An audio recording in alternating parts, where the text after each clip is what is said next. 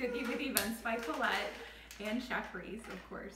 Uh, Reese, uh, don, uh, ¿dónde están tus huéspedes hoy? ¿Quién son tus huéspedes? No sé.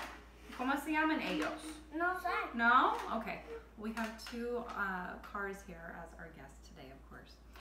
Um, today we're going to be cooking a recipe that uh, the Egyptians, um, well, as it so as it so is written, the Egyptians were the first ones to write this recipe.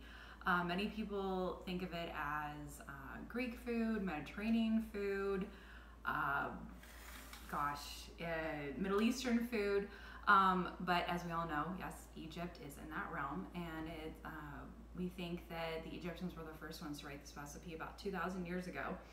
And originally, it's uh, made with garbanzo beans, but there have been many versions uh, of this particular recipe, which we're going to be doing one today. Um, I was reading an article in Chowhound, uh, which I get uh, weekly, their weekly newsletter, and uh, there was a version of this and i thought you know let's go ahead and tweak that where i can actually eat it where it's gluten-free and dairy intolerant And cauliflower. see cauliflower um, so as you see we went ahead and started the recipe a little bit um, this is riced cauliflower um, there are many different versions and colors of cauliflower uh, you can read more about that in my blog um, I have many different cauliflower recipes. Um, today we're going to be using white cauliflower. But yes, if you aren't familiar, there are green, purple, and orange cauliflower. Un, Hay una cosa para pinchar un dedo. Oh, sí, sí, sí. Por Una eso no toca. Sí, no toques. Sí. No, no, no. Um, there's a blade, so we don't want to put our fingers in when we're cleaning it out. Um, so uh, I wanted to leave a little bit of cauliflower unriced because um, a good friend of ours, John, hi John, he asked one day, so how do you rice cauliflower in a rice cooker? I said, no. you just put it in the Ninja or the food processor. Um, so yes, today we're going to be making cauliflower um, goat cheese hummus. If I didn't mention that already, I'm sorry. Okay, and Reese is ready to cook. Okay, so we're going to be cooking, um, and we're just put everything in the food processor. This is uh, rosemary, romero, See, si Reese, romero, Yo hice el Sí. romero. gracias, y oregano, see. So as you see, we're using fresh herbs. Um, this recipe is better when you use the fresh herbs, not the dry herbs. I'm sorry, it's just if you have only the dry herbs, go for it. Um, but with this particular recipe, um, we're just going to be using the fresh ones today. We have ajo or garlic. As, usual, I will be posting this recipe online um, along with the video. So I know we're going a little fast today because Reese is excited to cook. Um, yes, we have fresh basil, albahaca. Whee! Ooh, okay. Y Reese, creo que sí, necesitamos um, uh, pon la tapa ahora, ¿sí? Y después los otros ingredientes, ¿cierto? Okay. So we are going to food process this a little bit um, to compact it down. okay, conectar por favor.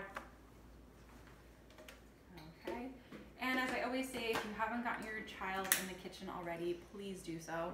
Um, as you can see, Reese is fully functionable right here. Um, okay. Puree? Uh, puree. Sí. Okay, so we went ahead and food processed this uh, for a little bit on different settings just because it's it is pretty bulky. Um, we want to get everything combined. Um, now we're going to go ahead and uh, combine the other ingredients. Okay, we see tahini, another Mediterranean, uh, typically Mediterranean di uh, dish. Okay, necesitamos. Yo quiero Ah. comer un poco de tahini, mamá. Okay. Um, so as I started saying before we turned on the machine, which is very loud, uh, please get your children cooking in the kitchen. Um, it, if anything, it increases their palate and it makes them want to try things if you have a picky eater, for example.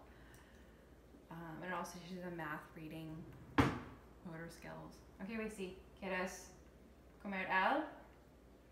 Soy. ¿Quieres terminar? No. Con tus dedos. Okay, we have a dog here. Okay, pues. Um, we have our tahini, and now we have our uh, cheese. Um, you know, let me get another one. I have forgotten. Um, so we're gonna be adding eight ounces of softened goat cheese. I only have half of that right here, so let me run to the fridge get another one. Okay. Um, last but not least, after the cheese, we will be adding lime and Mama, salt yo and pepper. ¿Qué pasó? la ca- um de cheese. Okay, está en el refri. Okay.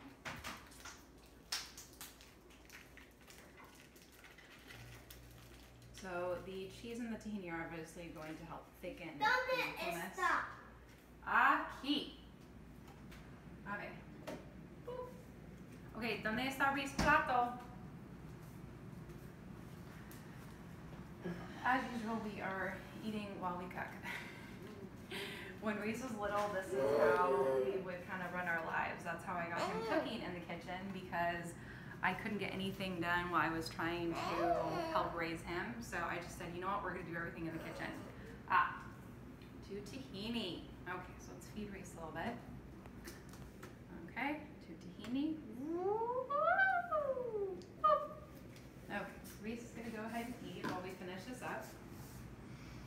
Okay, so we're gonna add a little bit of salt and pepper to taste. I always say I add salt and pepper to taste. Some people, um, such as myself and my mother, yes, mother, um, abuela, um, she and I both love everything a lot more salty. and then some people like things more spicy, so add more pepper if you like too. A ver, pimienta y sal y limón. Um, some people are uh, lazy and prefer to buy lemon juice, um, but I always just like doing this the fresh lime uh, or lemon juice. Um, just you know, if you can invest in a squeezer like this, this is cast iron. Um, they're amazing, totally worth it. Actually got mine at Pottery Barn and I used to work there. It was on sale. Um, so going back to, um, I have many, many recipes, many different versions of hummus, many different versions of cauliflower. Um, so you can uh, go on my blog, and if you can't easily find something, please let me know, message me, and I will help you through it. Um, and if I had mentioned this before, um, we are going to start doing uh, live classes, which you can join me while I'm cooking. You can be questions and answers, history, like I usually have um, offered about each recipe and the ingredients. And uh, we'll be doing those um, probably monthly and then probably weekly, depending on how things are with my schedule, with raising Reese also. Um, but yeah, let's go ahead and turn on the food processor. Okay, so we have food processed it and uh, ready to go. Um, this is a hummus that, or hummus that you can basically eat with anything. Today we're going to be enjoying it with my uh, Ethiopian injera or teff flatbread, as a lot of people know it. If you haven't been to an Ethiopian restaurant, um, go and you can try. Uh, this is what they serve instead of just regular bread. Um, they serve injera teff bread. Um, so I hope you can enjoy this. Reese, this decir ciao? No? Okay. Well, thank you again for um, joining us today. And again, I will be sending out something uh, for live Zoom classes uh, where we can be, or you can cook alongside with me virtually. And we'll have question and answers and historic uh, history behind um, the different food ingredients and the origin of recipes uh, that we always have. Sorry, I was cleaning the table. always have a clean kitchen. Uh, when you're waiting for something in the oven, by the way, what a perfect time to clean up after you've cooked. Um, if you are not already on our mailing list, uh, go ahead and reach out to me um, if you want to be included on They will just be a small nominal fee, um, so it can help cover my cost of food. Thank you so much. Ciao.